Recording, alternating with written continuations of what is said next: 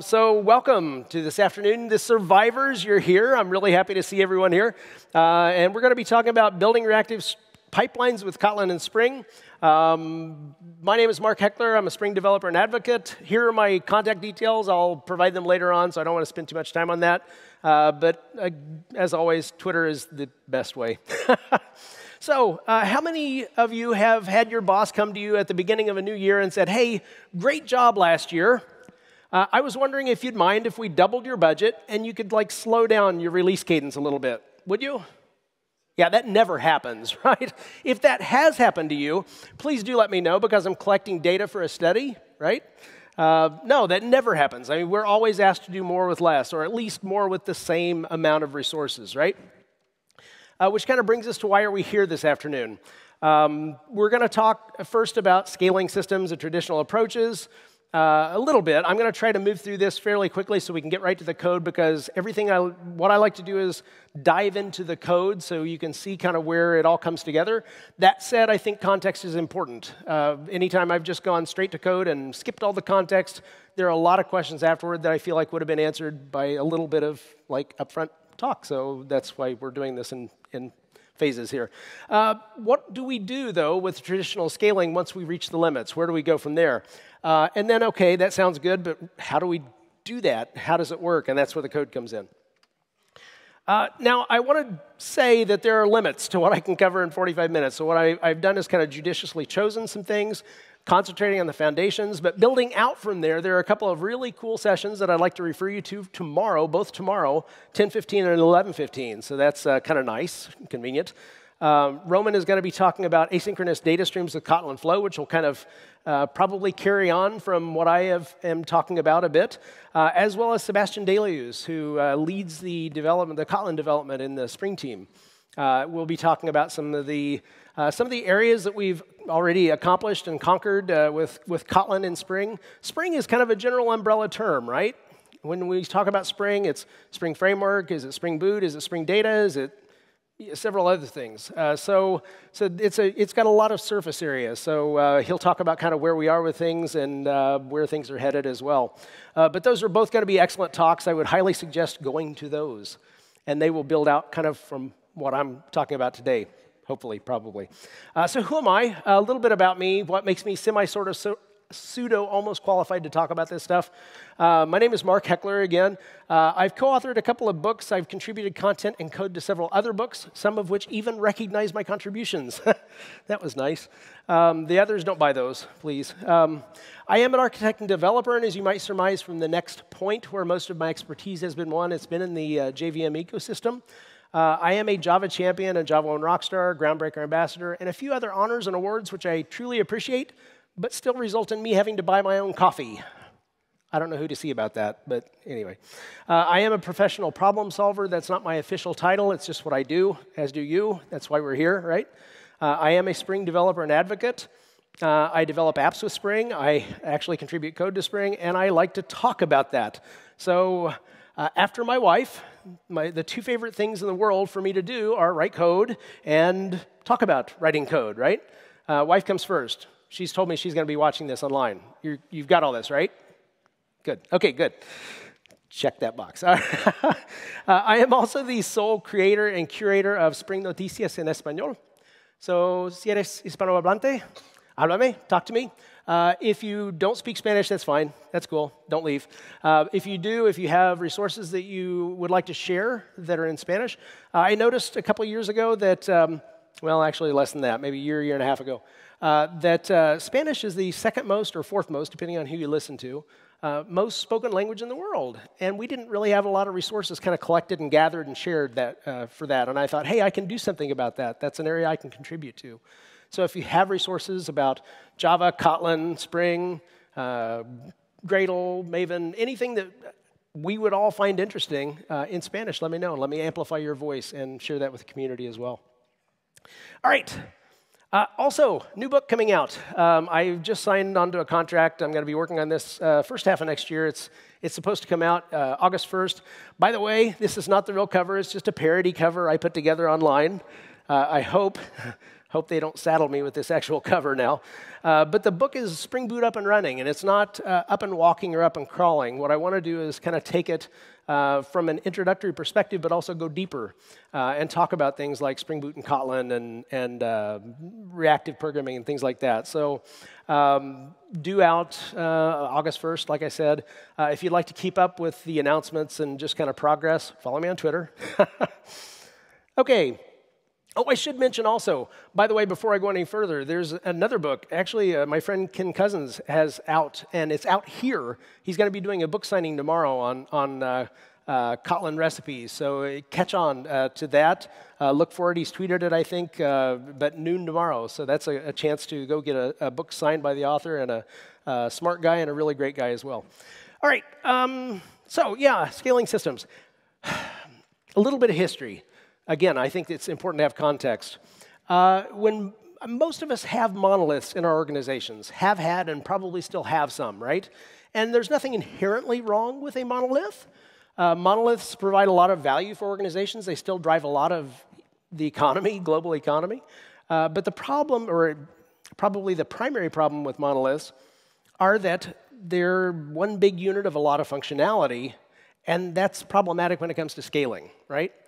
Um, typically, you have a lot of different capabilities that a monolith provides, and not all of those capabilities are equally stressed at any given point in time. I like to think of a, an online retail app. So, if you've done a good job with your company and your store and your app, you'll have a good product market fit, you'll have good quality products, you'll know your customers, and your customers will buy a lot of your products. They probably won't return many of them. You'll have a few returns, right? Wrong size sweater, you know, wrong color, whatever but you're not going to have nearly as many returns as you do sales. And yet, when your, your monolith is stressed from a lot of sales, what do you do when you need to scale that? You pick up the monolith and duplicate it or triplicate it or whatever. And the problem is that you bring a lot of baggage along with it that doesn't need to scale. So when we start really realizing that that's terribly inefficient, and there are a lot of other problems that go with that, but again, time, uh, we start looking for ways to better scale. And most of the time we arrive at something like microservices, right? We tease out the functionality that needs to scale independently, that's more volatile, that needs to scale out and scale back in. And we can look at scaling that, which is better, right? But a monolith, excuse me, a, a microservice doesn't equal a capability. In most cases, by the way, sorry about the voice, i have been fighting terrible um, head, chest cold, and stuff, so I'm going to be leaning on the hot tea and hopefully not coughing frequently, but yeah, it's a little rough, pardon. Um, so with a microservice, with a, with a capability, you're not going to be providing that in most cases by a single microservice. You're going to be breaking out or teasing out a small cluster of microservices. For instance, on that aforementioned order service, uh, when someone places an order, that order service may check inventory with the inventory service. It may check your credit your account balance. It may check your shipping address and make sure it's a valid shipping address. So, what you typically see is you have a number of services that are teased out to provide a capability, which is fine. But you start realizing that you're kind of still coupled in many ways. When you talk about scaling, you're scaling uh, clusters of microservices, typically kind of in a one to one fashion almost. Not always, but fairly close. Uh, and you're not isolating that out and scaling and decoupling to the extent you thought maybe you were going to. Enter messaging platforms. Messaging platforms allow you to decouple your services quite nicely. Uh, because if a service produces a message and pushes it into a pipeline, the receiving service may not even be available at the time that, that message hits the pipeline, right? Uh, you can have things like durable queues, you have retention, delivery guarantees. And when that, that receiver, that recipient comes online, the producer of that message may not even still be online. So you, you temporally decouple. You locationally decouple. A, a, receiver of a message doesn't even know, need to know or care where that message came from. It just sees it as a message it needs to consume and process. So messaging platforms give you a lot of different capabilities, a lot of different uh, scaling options, a lot of different flexibilities, routing capabilities, because you can set up some pretty sophisticated routes in terms of messaging platforms that you really can't do in many other ways. Um, Spring Cloud Stream gives you a lot of capabilities in terms of um, abstraction, really, boiling it down to one word. Because if you were able to standardize the whole world on one messaging platform, that would be wonderful, right? We'd all use Kafka, or we'd all use Rabbit, or whatever. But the fact of the matter is, you can't. Even if you standardize within your company on RabbitMQ, let's say, what happens when your partner that you work with is standardized on Kafka? Or maybe your company acquires or is acquired by another company that's using Kinesis or what have you. So you, in many ways, need to have some level of abstraction to maximize your productivity, to maximize your business impact. It would be really nice to be able to do that and as a developer, not have to get into the weeds every time we wanted to, to send messages back and forth or route messages in a sophisticated manner. And that's what Spring Cloud Stream gives you. Spring Cloud Stream is built on Spring Boot right? So you get the auto configuration and simplified deployment and dependency management. Uh, it's also built on Spring integration. And we're extending, actually, and evolving the API and evolving the way things work. And I'll show you some of the cool stuff that we're doing now uh, today. Uh, but it does give you kind of superpowers when it comes to your building uh, messaging platform pipelines. And by the way, I do try to keep it at that level, that term, pipelines, because whether we're dealing with exchanges and queues or topics, uh, most of the time as developers, after the initial configuration, what do we need from a messaging platform? We need the ability to push messages to it and pull messages from it, to route them in some specific way. But at the higher level business value level, that's really what it boils down to. We need to be able to send and receive messages, right? Okay. Here's an example. I'm going to try to keep this fairly simple today because I want to have, obviously, time to explore the topics I want to explore. Um, and this is almost as simple as you can get it. So with Spring Cloud Stream, you have three built-in interfaces, a source, a processor, and a sink. Um, a source is the thing that produces values, right? A sink is the thing that consumes those values. End of line, done. In between, you may have one or more processors which take a value, manipulate it in some way, and pass it on. Uh, and you can get pretty, again, sophisticated with this and can combine it in different ways, have processors that feed more processors and sinks and what have you. Uh, the simplest example is a source and a sink, right? But this is almost that simple. Uh, and I want to uh, do something with this as we go. That's why I use all three. Now, this is kind of the terminology that has traditionally been used in legacy uh, Spring Cloud Stream. But we started realizing that there, it's a little bit of a leaky abstraction from Spring integration, right? We're, we're telling a little bit more than we necessarily need to do because these line up very nicely with, with basic constructs in Java and Kotlin, right? Uh, you have a supplier, which supplies values, a function which transforms values, and a consumer, which consumes values. And we started realizing that we could simplify this. And again, use auto configuration where it kind of enables you to do more with less effort, which is always nice. Okay, so if we've redlined, looking at microservices and ways that, that we might uh, be able to extend our scaling in some way to, to better scale, uh, we need to kind of look at how to change our approach, to, to look at new ways to scale. Uh, we've traditionally, in the JVM ecosystem, uh, I'd say bad old days, but I mean, it's been up till fairly recently, uh, you had, for each connection, you had an additional thread spun up, right?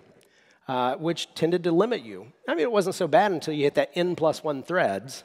When you hit that n plus one thread, that thread was going to be waiting, right? The request was going to be waiting, I should say, uh, for something to free up. And most of the time, those threads were busy doing what? Nothing. They were blocking, waiting for a response from another service or a database call or what have you. Um, so we needed a way to, to, work around that. Now, there are several options. You know, coroutines come to mind, right? Um, Project Loom if and when it ever happens, and I'm sure it will at some point. Uh, but it's not here, and there's right now there's a lot of you know kind of talk and debate. Uh, Project Reactor, uh, you have reactive programming, which has been worked on for several years as well. Uh, I'm going to be focusing more on that today, but again, doesn't invalidate the other options, and I'll show you some hints toward where we're headed with things like flow and coroutines as well. Um, and performance, because I, whether we're talking uh, coroutines, Loom, or Reactor, you need some way, or it would be nice to have some way to enhance your performance as well. So when you have three requests that take a minimum of a second apiece, and you're doing it in a blocking fashion, you know you're going to have a minimum of three seconds. But if you can execute them in parallel, you have a minimum of one second, right? So there are some performance gains to be had. Doesn't always apply depending on whether you're I/O or, or CPU bound, but uh, that's something that can be gained as well. Um, and of course, boiling it all down, if there was any synergy to be had with messaging platforms, that would be awesome too, right? So, as I mentioned, we're going to be talking primarily about Reactor. Uh, I like to point this out because a lot of times folks aren't necessarily that familiar with reactive programming. This is a quote by one of our uh, Project Reactor team members, Rossen Stoyanchev. I stole it from him, and I shamelessly show it every time I give a talk like this. And I'm sure he doesn't like that, but eh, it's too bad. Uh, in a nutshell, reactive programming is about non blocking event driven applications that scale with a small number of threads with back pressure as a key ingredient. And why? So our slower consumers aren't overwhelmed by faster producers. And that's very important because you have to be able to, or you need to be able to push back when you have a slower consumer. In the old days of asynchronous programming, when you had no way to apply back pressure, what would happen if you had a slow consumer? It would typically just fall over when it was overwhelmed, right? We need some way to signal upstream that we can't handle that much. If you have a consumer that can handle 10 values per minute, then it requests 10. And then when it's ready and it's consumed those, it requests another 10 or what have you. So it, it, keeps you from overwhelming those. It doesn't change the fact that your upstream producer may be producing 1,000 values per minute, but it does allow you to have that control where you may have it better in a cloud service versus on an iPhone client, you know, three countries away. All right. Uh, a little bit about the Reactive Streams API. There are four interfaces, a publisher, a subscriber, a subscription, and a processor. Uh, a publisher is a thing that produces values, a subscriber is a thing that consumes them, right? A subscription is just the contract entered into between subscriber and, and publisher.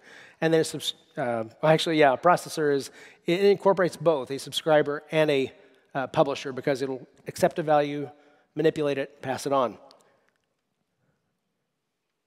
In terms of synergies, we see a lot of parallels here. Uh, because Spring Cloud Stream offers sources slash suppliers which correlate with publishers. They're the things that produce values, right? Uh, you have a subscriber which correlates to a sink or a consumer on the Spring Cloud Stream side. A subscription is actually that's that is performed by the pipeline itself, that contract really. Uh, and then a processor or a function in Spring Cloud Stream correlates to a processor in reactive streams. Okay, so let's code. So that's not too bad, right? That gives me, I think, a time to get through things. Probably fine. Okay. So, did anyone recognize that guy, Maurice Moss? IT crowd? No one? Oh, good. Okay. you had me worried. I thought I was in the wrong room.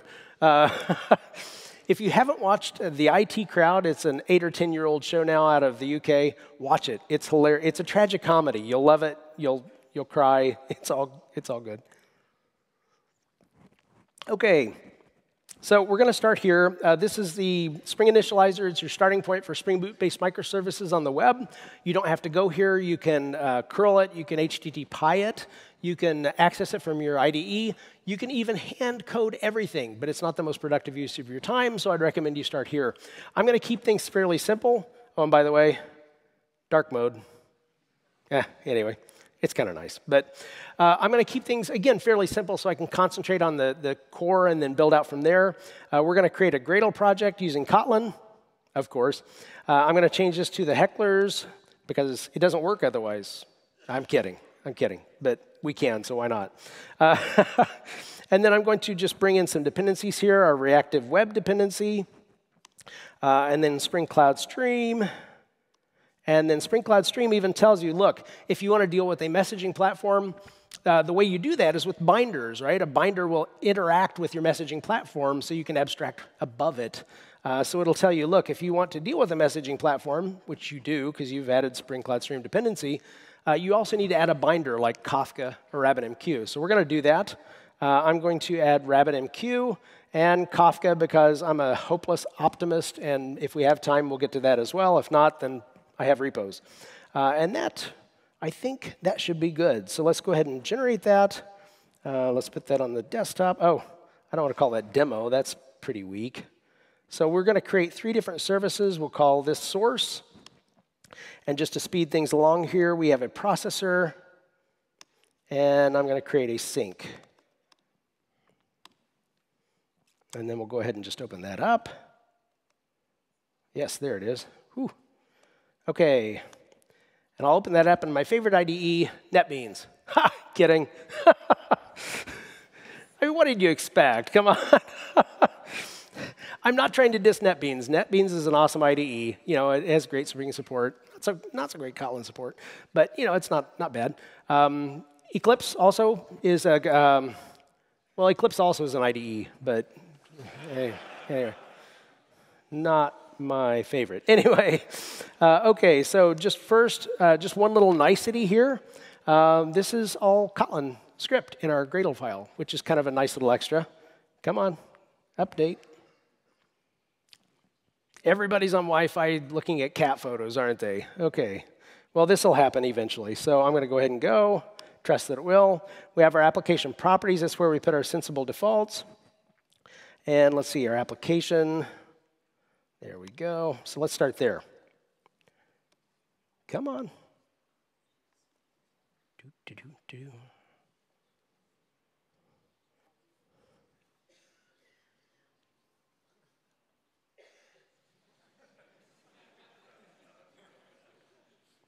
Oh, there it is. Okay, we're in business. Okay, well, I, will, I shan't be stressing Wi-Fi here today. okay, so I'm going to keep this, again, fairly simple. I'm going to create a data class. And by the way, what, I have two talks that are kind of similar that I kind of veer in different directions on. Uh, the one talk I do with coffee as my example, and the other one I do with airline flying a lot, because I fly a lot, right? And I, I'm trying to always problem solve. I'm trying to make life better for me and everyone else who gets stuck in these aluminum cans flying through the air. But I realized that Denmark has a great coffee culture. So I'm actually going to bring over my coffee example because, hey, why not, right? Any coffee lovers here? Just a few, yeah. All right, good. Uh, with this stuff that I've got, I've sadly been drinking hot green tea most of the time, which I like, but I've really been missing my coffee, so I'll have to come back and, and go crazy. But, but for now, we'll, we'll work on this. Um, so for an example, remember I said I wanted to do a source, a processor, and a sink. Uh, what I want to do is, is capture the process that happens all the way from a coffee farm to a, to a coffee shop, right? So at a coffee farm, you have beans. You go and buy the beans and you ship them to a coffee roaster. So we're going to the coffee farm, we ship them from our source, we, we tell our, our coffee uh, roaster that, yes, here, here the beans come.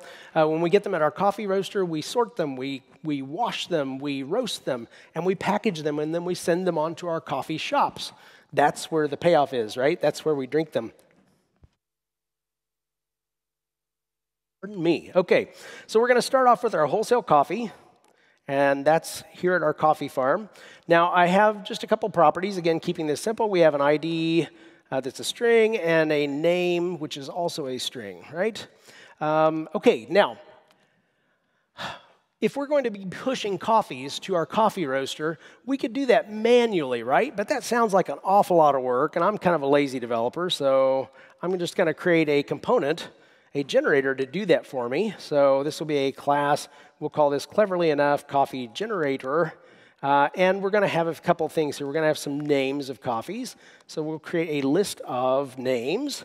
Uh, so let's see. Um, I, I, hear there are a few good coffee names. What is it? Baresso? Is that right? Yes? Good. Okay, good. Um, I'm, I'm taking your word for it. All right. And then uh, let's see, what was another one? Um, uh, what was it? Uh, oh, Hold on. I, I have a cheat sheet because I, I knew I'd do this. Merrild, yeah, is that right? See, I need to get out more. I really do. And Peter Larsen?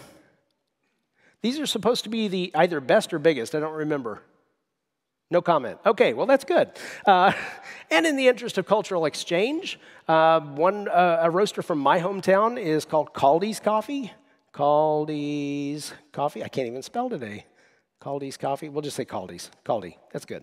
So we have four different coffees that we're going to be providing on a random basis. Uh, in order to do that, we need to um, create a randomizer here. So we'll just do that. Uh, and then we're going to uh, create a fun here to generate generate our values. So uh, we'll just do, uh, let's see, this will be uh, wholesale coffee, and we'll use UUID uh, random UUID, toString to get our ID, and then we'll just take our names and we'll grab the random.next int, and we'll take the uh, names dot, oops, dot size, and that will give us a random coffee on demand, right? So that's not bad. Now we need to push our coffees on demand to our pipeline. So I'm just going to create a configuration class, configuration class, uh, and that will be our coffee grower. I cannot type today. Okay, private val generator, and there we go. Okay, so uh, I'm going to, well, actually, let's see. Yeah, I'll create a bean, and this bean, let's see, fun, send coffee. Sounds like a plea for help, right? Now, uh, what we're doing is creating a supplier. And this is a supplier, we could do a supplier of wholesale coffees, right? But that isn't very reactive. And again, we're going to be talking reactive. Now, I should have mentioned, and I kind of skipped over this, uh, you have a publisher, which is the thing that produces values. But in the reactive world, in the non reactive world, you have, let's say, a method call or a function call. It can return what? It can return an object of type T or a an iterable, a collection of some form of type T, so one or many, right? It made sense to split publishers into this, this, these concepts as well. So uh, for something that would return a value, it's a mono, right? Zero or one values. That's a mono, a publisher that will return zero or one items, objects.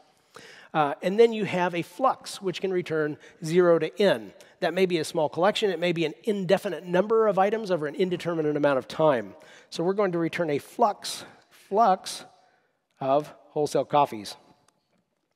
And now it starts to get a little more interesting, right? Uh, so equals supplier, and I want to show you something else here momentarily. Uh, so with our supplier, we're going to uh, do a flux, flux.interval. We're going to create a duration of one second, and then we're going to map each of those pulses that comes out. We'll use our generator to generate a value. Now, that's okay, but again, remember I mentioned back pressure. So if you have a slow consumer that can't keep up with our super speed of one per second, uh, we need to define what happens on back pressure. So you can set up a buffer, a certain buffer size. I'm just going to drop the intervening values because we only care about the now. But that depends, right? If you have a dashboard, you, dropping those values is fine. If you need a historical context, you need to save those for some, to some extent. So that's all right. Now, this is the current API, and this is an evolved API, right? So we're no longer annotating everything with Stream Listener and SendTos and things like that. But here's kind of where things are headed, right? And I'm giving you a little bit of a peek here because we should be able to do something like this and we will very soon. It's just in the works, right? Um, no software is finished software. So this is kind of a, a, peek at where we're going as well as where we're eventually going. Uh, probably the short term, very short term versus short term, right? So this is coming soon as well. So, not here yet. We'll go with that. All right.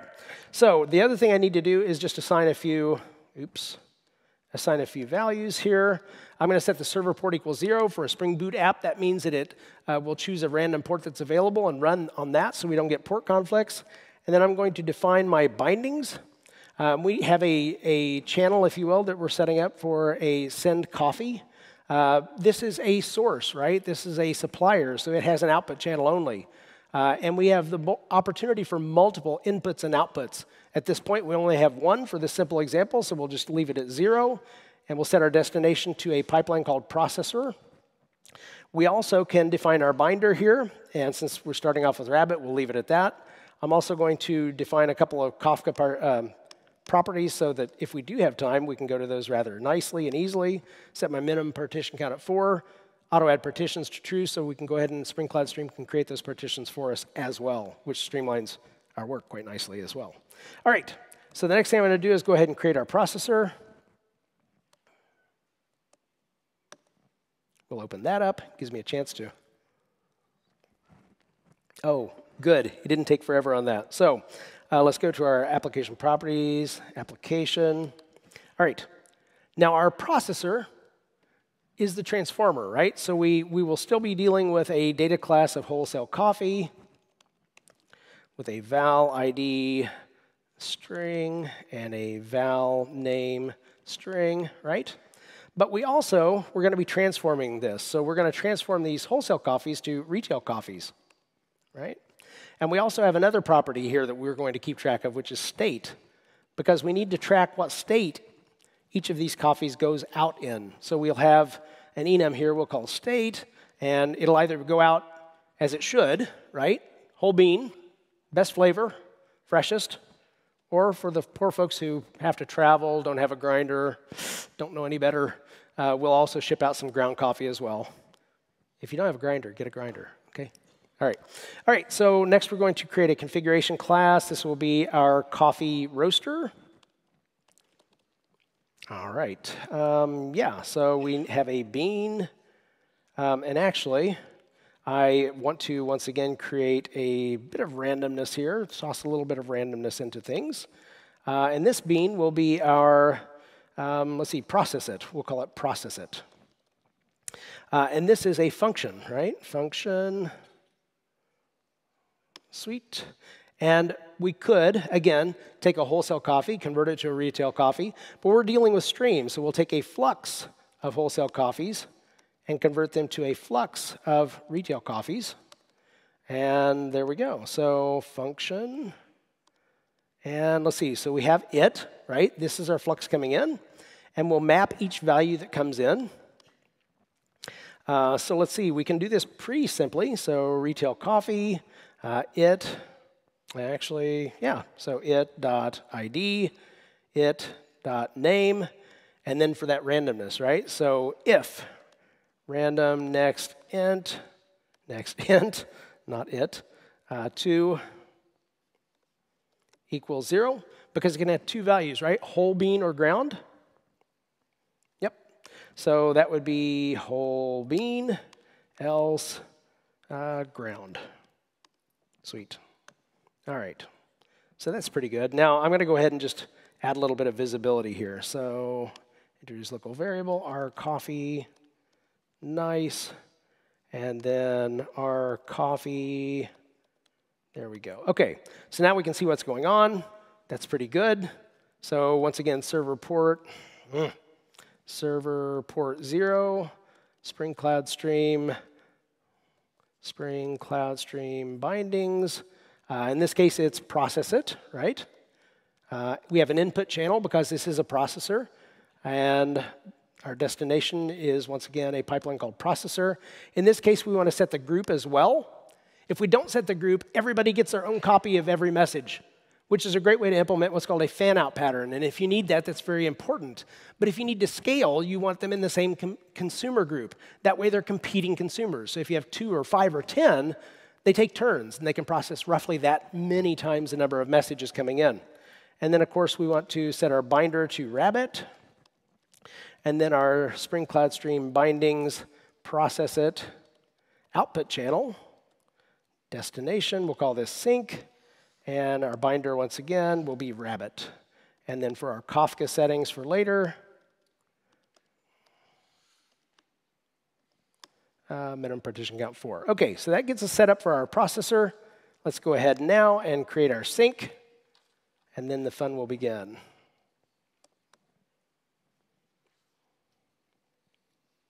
Ah, so much better after that first one. There we go. Nice. Okay. Now, our processor has done what? It's taken wholesale coffees and, well, a flux, a stream of, a reactive stream of wholesale coffees and converted them into a reactive stream, a publisher, if you will, of retail coffees. So all we care about at our sink is those retail coffees that are flying our way, right? So we create or return to creating our data class. This will be retail coffee, val ID string, typing string val name name string come on string val state state and then we have our enum class state whole bean ground okay now to process this once again i'm just going to create a configuration class many ways to do this. I kind of like this approach. So this will be our coffee drinker. Nice. And we create a bean, and this will be a, uh, we'll just call this drink it. And this is a consumer of a flux of retail coffees. All right, equals consumer. And this is pretty simple, right? It.subscribe and print line it. Nice. Okay, so then we just go ahead and add our properties, server port zero, Spring Cloud Stream, binders, bindings, excuse me, and this will be drink it, input zero, destination, drink it. No, sorry, sink. okay, group, same thing. We'll go ahead and set our binder to RabbitMQ, Kafka settings, and minimum partition count four. All right, nice. Let's go ahead and start this.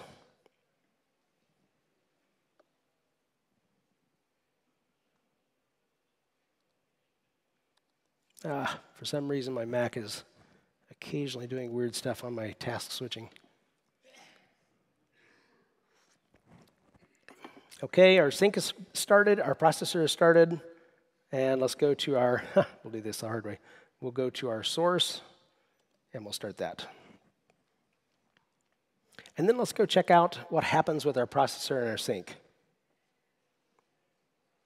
So we start seeing these come through, right?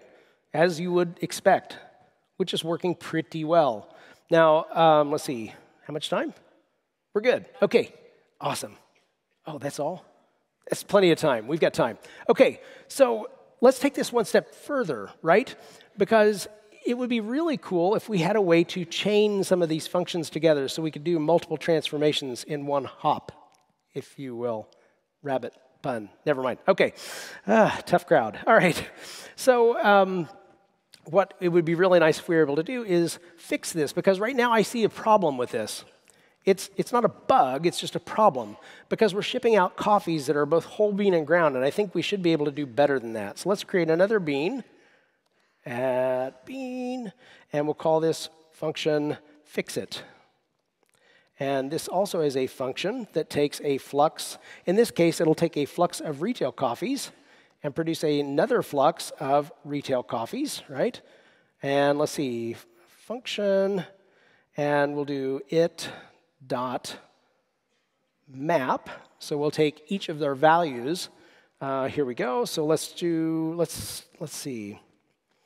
Um, so it dot copy, and we'll take, uh, actually, ha. So retail coffee. How do I want to do this? I could just do an it.copy, right? Um, state equals whole bean. So that works. Now I'm going to go ahead and just um, add some. There we go. What's that?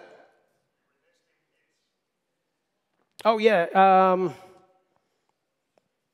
yes, I am actually. Hold on just a second. So, our coffee. All right, so Yes, that's fine, right? So we have a flux of retail coffees. We're mapping each value, uh, and we're copying that value to a new retail coffee. And then in between, we just want to uh, do an r rcoffee.sout. Nope, sout, and there we go. And and then we can kill this. And let's go ahead and change this because now we need to add one other parameter here, our function definition. So Spring Cloud function definition, process it, and fix it, right? And actually, what I'm going to do is replace process it with both. And we'll just go ahead and drop that in too. Oops. Spring Cloud stream function definition equals. Nice. Let's go ahead and restart that. Hopefully, I haven't done anything too crazy here. Okay, that's a good sign. Let's go ahead and restart this. So it's really nice because you can dynamically change these and chain these as you go as well. And now we're fixed. Everything is whole bean. life is good. All right. Um, don't have time to do the uh, Kafka switch, switch over, but it is super simple. So if you want to know more about that, please hit my repo. If you want to know more about the evolving API, uh, about things, oh, I actually didn't uh, go so far as to also say that when I mentioned that this would be a flux, this will eventually also incorporate flows as well. So just some things to keep in mind.